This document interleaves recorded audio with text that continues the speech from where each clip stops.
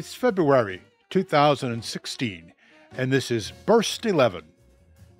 Josh Grindlay on the DASCH Photometry.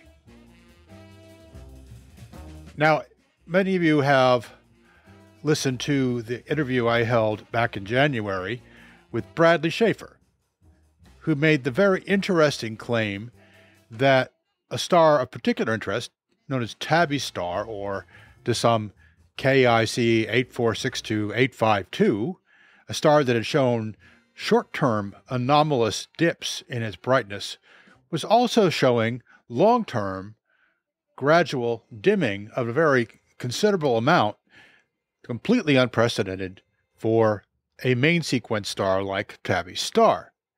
Schaefer's work made use of photometry, that is, a measurement of a brightness of a star, from a research group called DASCH, the Digital Access to a Sky Century at Harvard, which is a, a very extensive data collection and digitization project executed by the Harvard Smithsonian Center for Astrophysics. A little while later, another paper came out by Hippke and Angerhausen that disputed Schaefer's claim that there was an anomalous dimming of the star based upon what they found to be a dimming in several comparison stars near Tabby's star in the DASCH photometry. Now, this essentially is a claim that the DASCH photometry is poorly calibrated. And Dr. Josh Grindlay, the principal investigator of DASCH, it takes issue with that. So I, I decided to call Dr. Grindlay up and get him to tell his side of the story, why he thinks that Hippke and Angerhausen are wrong, and his own critique of Brad Schaefer's recent claims that Tabby Star is dimming. Please check the show notes for links to everything I've just mentioned, including DASCH, the Hippke paper, Schaefer's paper, my interview with Brad Schaefer, and also uh, the the Landolt standard stars that Dr. Grindlay refers to in the interview.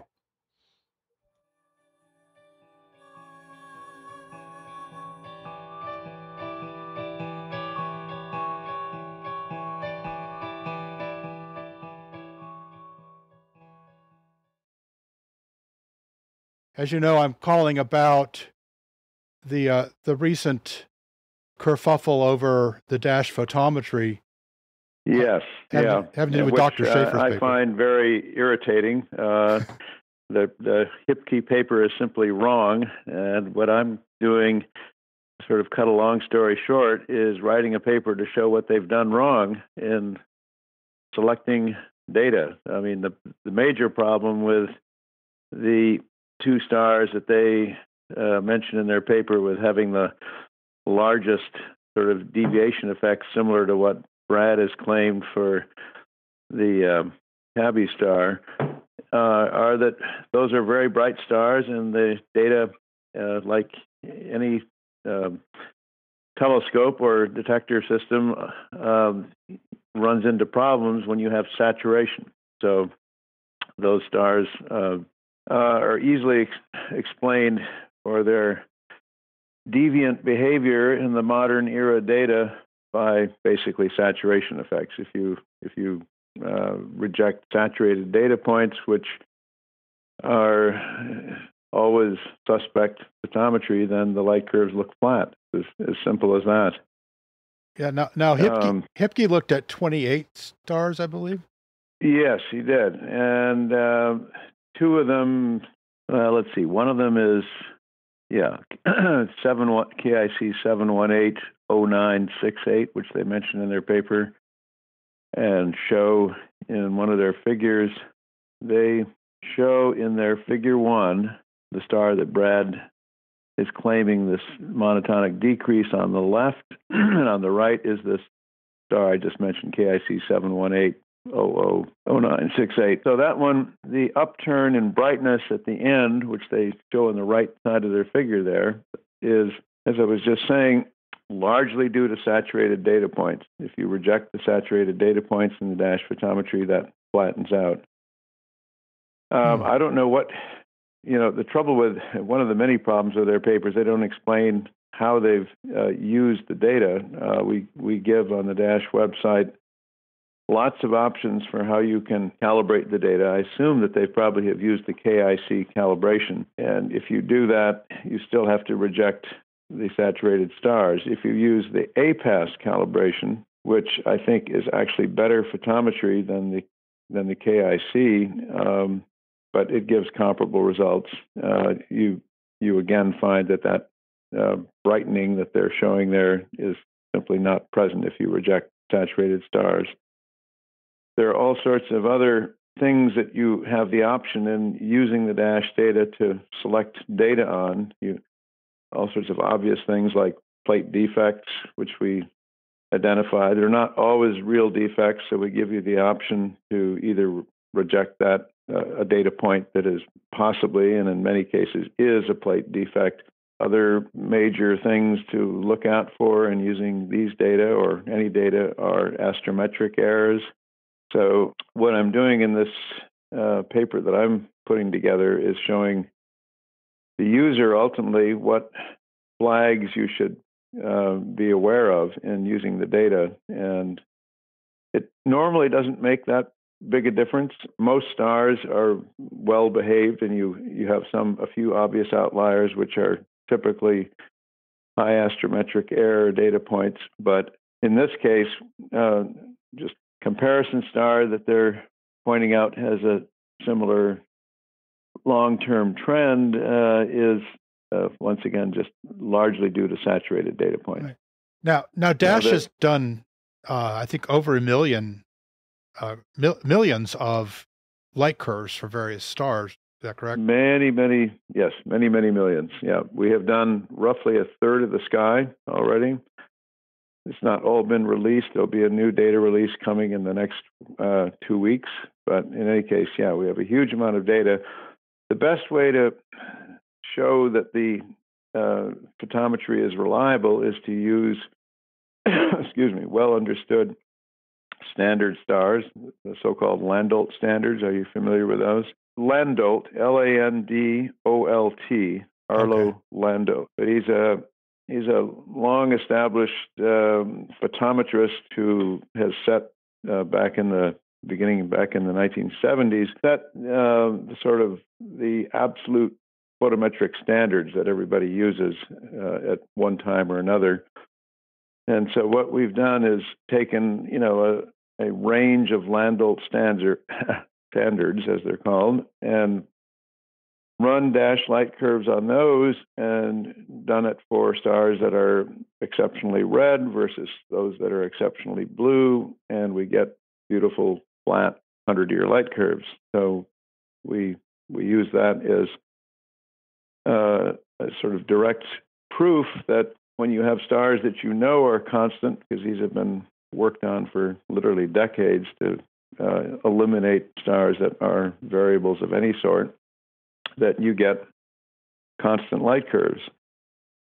So that's the simplest way to argue that whatever Hippke and his co author have done is I'm afraid, just simply not properly uh, making use of the data. Okay. Now, the, of these Landolt stars, are there many that are similar color and brightness yep. too? Yep. Now, you, in your email, you'd asked whether I had done that or we had done that to look at F stars in particular.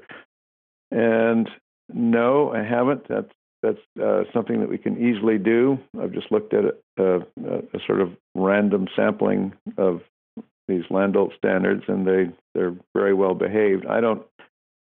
Uh, there's no reason to believe that an F star with its uh, colors would be any different uh, than than the stars we've looked at, but certainly we we can and will do that.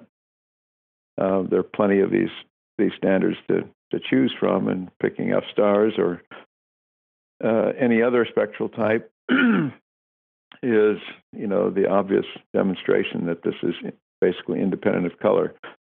Now, another one of your questions was, has the uh, did the patrol telescopes that that we used for these Harvard plates over the hundred years change in the modern era? And yes, they did. As you I think you probably heard from Brad, they're uh, they were changed to a different set of cameras called the Damon cameras. So these were the the cameras used for the uh, northern sky only after 1970.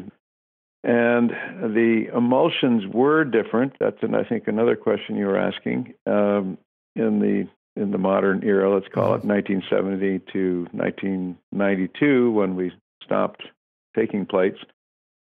So those emulsions were um, were different, mainly, and I don't understand really in what ways, but for one thing, the most obvious difference is that there were roughly 30 years, uh, well, 20 years at least, um, more modern than the predecessors.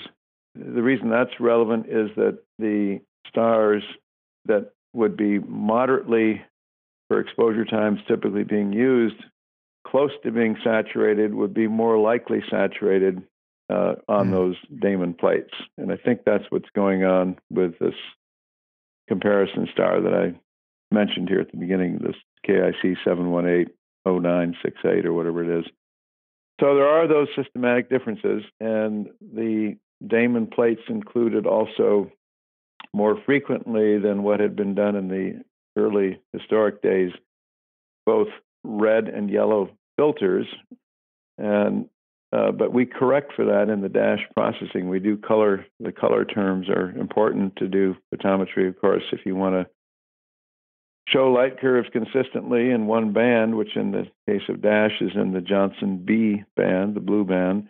And that's where the reason for that was, of course, that most of the Harvard plates, the hundreds of thousands of them, uh, the vast majority are all photographic B, which is essentially the modern day Johnson B magnitude band.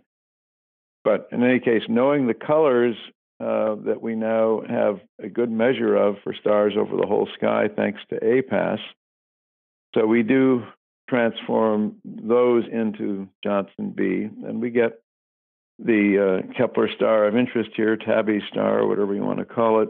Uh, we we do get consistent transformations into B uh, or this this comparison star that we've been talking about. But in any case, yes, there are um, or were some systematic differences, but those those are uh, properly taken care of uh, as evidenced in you know the the most direct way by looking at at uh, these Landolt standards. So, how many Landolt standard stars are there? Are there? Oh, many hundreds. We could do them all. It would be providing that we've scanned them. We haven't. Uh, we certainly haven't scanned the whole sky, so we would have to. We at this point can only uh, do a systematic study of the Landolt stars that have been scanned. But uh, that's what I was mentioning that we have done uh, mm-hmm. a good number of those already. Not huge numbers, maybe a dozen or so, just as a this was done actually eight months ago, just uh, for the fun of it. And I was going to write this up then, but didn't. And now this whole uh, paper has given me lots of incentive to set the record straight here. I see. Now, your team did find uh, a roughly 100 year variation in a red giant star. Is that correct? Well, we have found, yeah, no, no, there are long term variations. Uh, and yeah, we had several papers on these uh, K giant stars. This is a former student of mine, Sumin Tang, T A N G, who wrote that paper, and there are more papers to come on those stars. Those are very different effects than what we're talking about here. Those were, you know, very large uh, variations, half a magnitude or so, some cases even a magnitude. So the debate here in this Hippke paper is about things that are at the couple tenths of a magnitude level and not uh, showing the sort of deviations. Uh, if you look at the Tang paper, there mm-hmm. those variations look very different from what Brad is claiming for the for the Kepler star.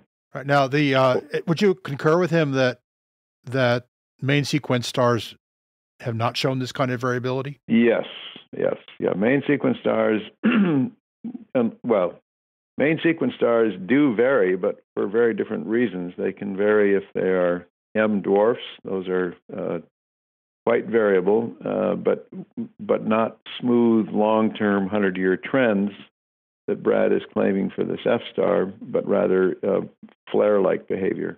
Mm-hmm. But getting getting back to Brad's star, or or uh, the star that Brad is claiming, I he, he has a, as I told him when he first you know showed me his paper as he was drafting it, and I said I don't really think this is a compelling case for a long-term variation because if you do the simplest thing, if you take only the DASCH data that has no flags set. Uh, flags, again, just refer to uh, the possibility that that data point should be questioned. You simply say, what does this light curve for Tabby star, or whatever we want to call this thing, look like if I only accept uh, unflagged points? And that's the first thing I did when Brad came to me about this star. And the answer is it's a flat light curve. It, does not uh, doesn't look like you don't have to fit it with anything. You can just see that it's uh, that it's constant. There are no saturated points for Brad star because it's much fainter. So the so it doesn't suffer from the effects that the um, KIC 718 star that we keep talking about does. Again, if you if you take only unflagged points, or if you reject the obvious things like high astrometric error, plate defects, things like this, which some of which Brad has done, but I don't think he's done it totally systematically. Um, the evidence statistically that the star is monotonically getting dimmer over the 100 years gets very, very uh, thin, let's put it that way. You can't rule it out. And my, my original objection to the way Brad wrote his papers. He didn't give, you know, proper error bars, to my way of thinking, on uh, what the uh, probability was that the star really is constant or that it requires a 100 year dimming. I think that's the statistical weak point. But the simplest uh, objection I have, which uh, I've mentioned here now, just again, is that if you take just the cleanest data of all, it clearly doesn't show dimming. And it looks like any normal F star, in other words. But I can see why he thought that it looked like it's dimming, because if you don't do that and if you reject the most obvious things, there is uh, a clear trend uh, over the 100 years of roughly a, a tenth, 0.15 uh, magnitudes.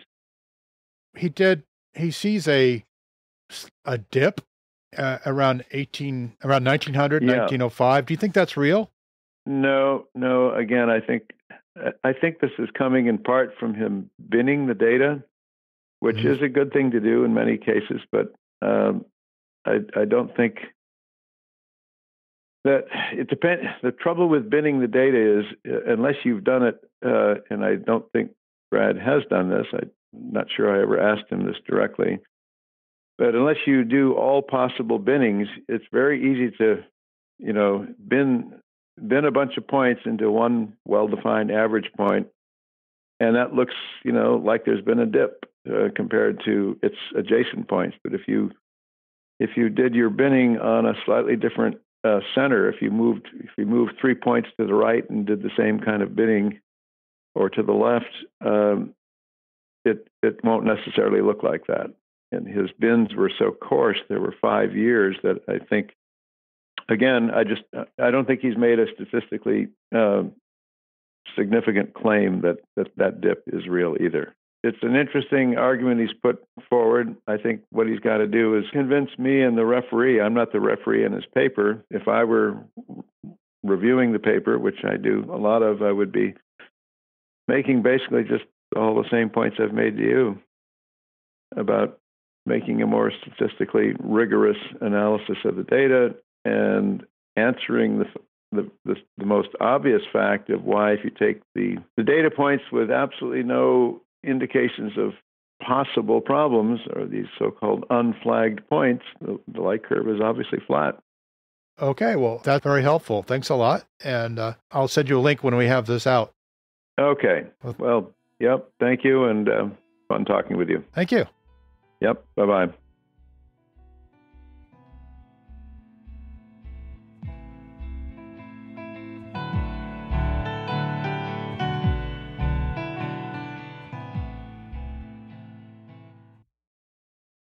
So, Schaefer believes that the Hippke results are simply wrong, but he's also quite skeptical about Schaefer's result as well. So more work is going to be needed.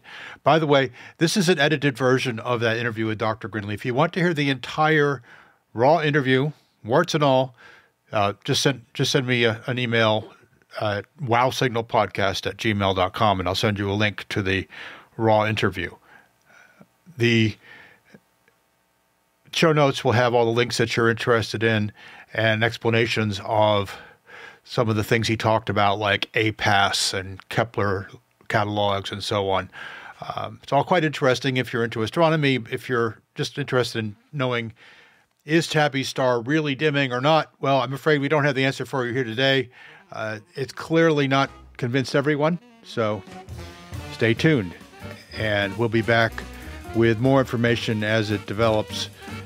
And also, I am really trying to get some of the original team from the Planet Hunters to come and, and talk to us on the WOW signal, either on a full episode or a burst. So stay tuned for that. We'll see what happens. So this has been Burst 11 of the WOW Signal podcast. It's February 2016. Music by Jason Robinson and Erika Lloyd. This is your host, Paul Carr.